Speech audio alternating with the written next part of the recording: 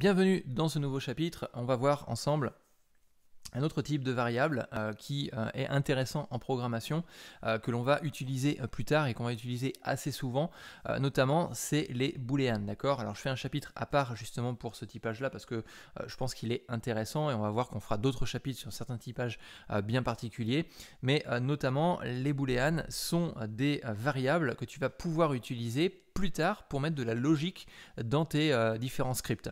Juste avant de continuer ce cours, sache que tu peux aller encore plus loin en téléchargeant le code source directement en cliquant sur le premier lien dans la description. Ce qui va te permettre d'accéder à la version complète, écrite, en appui de ce cours et copier-coller les exemples de code directement dans tes scripts. Mais c'est pas tout. Tu vas aussi accéder à tous les cours en full access avant même leur sortie sur cette chaîne YouTube sans publicité et sans autopromo, un peu comme je le fais actuellement. Et ainsi qu'un accès à des bonus exclusifs non disponibles sur la chaîne. Mais pour aller encore plus loin, tu vas avoir accès à mon groupe privé Facebook et rejoindre une communauté de développeurs qui veulent passer d'autodidacte à développeur pro. Et en même temps, je te donne l'occasion de profiter de conseils que tu ne trouveras nulle part en infiltrant mon compte Telegram. Ah oui, si tu aimes l'idée, n'hésite pas à liker cette vidéo avant de reprendre le cours. Allez, c'est parti. Et euh, notamment, comment est-ce que tu vas définir justement euh, ce type de variable-là? Et eh bien concrètement, ici, on va avoir par exemple condition qui va être égal soit à true, d'accord? Donc hop, soit à je vais y arriver, soit à true, euh, qui correspond en fin de compte à la valeur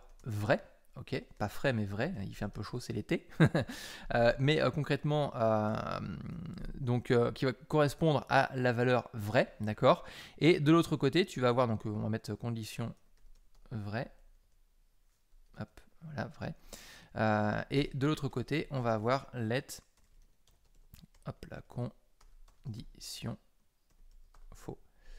et notamment ici, ça sera false à la place. D'accord? Donc ça, c'est des choses euh, à prendre en compte, notamment ces deux typages que tu vas utiliser pour pouvoir justement euh, définir des euh, logiques dans tes algorithmes, d'accord, dans tes différents programmes. Donc ces deux éléments-là sont ce qu'on appelle les booléens, d'accord.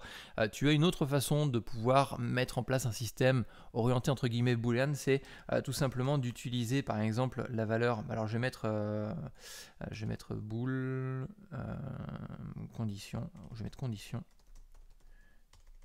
hop, condition num euh, tu as une autre façon de faire des booleans, mais c'est une façon qui n'est pas forcément recommandée parce qu'il n'y a pas un typage spécifique dessus. C'est de dire quand c'est vrai, je vais mettre 1. Là, ça sera considéré comme vrai, d'accord?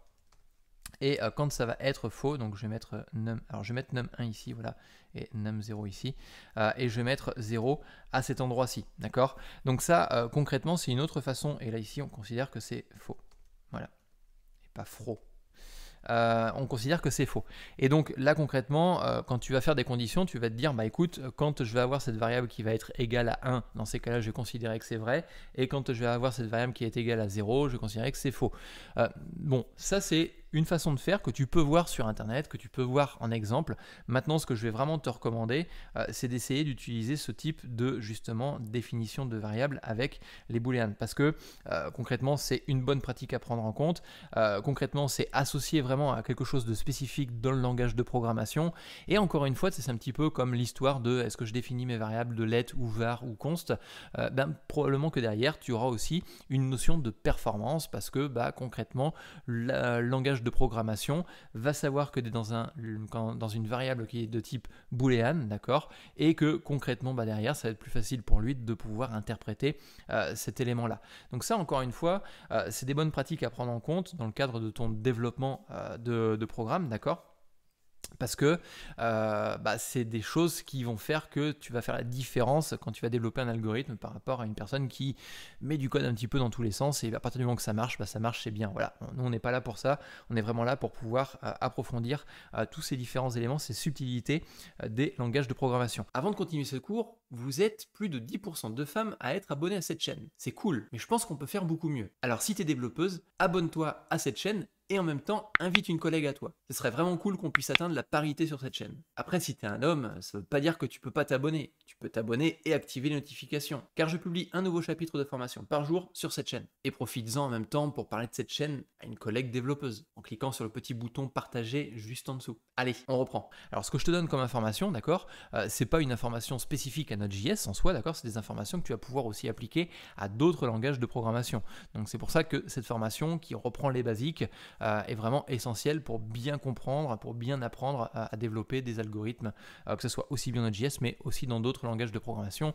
Si ce n'est que dans d'autres langages, tu auras des spécificités associées au langage. Donc voilà pour les booléennes, on passe au chapitre suivant.